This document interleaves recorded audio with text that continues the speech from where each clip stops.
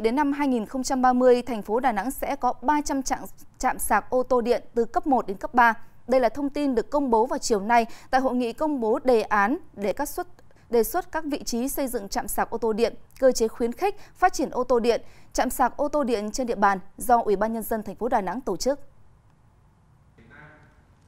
Dự kiến đến năm 2025, thành phố Đà Nẵng đặt mục tiêu xây dựng 150 trạm sạc cấp 1, cấp 2 có công suất nhỏ, chủ yếu các hộ gia đình tự lắp đặt và 15 trạm sạc cấp 3, vị trí đặt các trạm sạc tại quận Sơn Trà, Ngũ Hành Sơn, Cẩm Lệ, Hòa Vang và Liên Triểu. Đến năm 2030, xây dựng 250 trạm sạc cấp 1, cấp 2 và 50 trạm sạc cấp 3. Ủy ban nhân dân thành phố Đà Nẵng cũng khuyến khích mua sắm công, sử dụng ô tô điện phục vụ tại các sở ban ngành, cơ quan nhà nước trên địa bàn có lộ trình sử dụng xe buýt điện Hiện thành phố Đà Nẵng có bốn trạm sạc ô tô điện trên địa bàn quận Cẩm Lệ, Hải Châu và Ngũ Hành Sơn.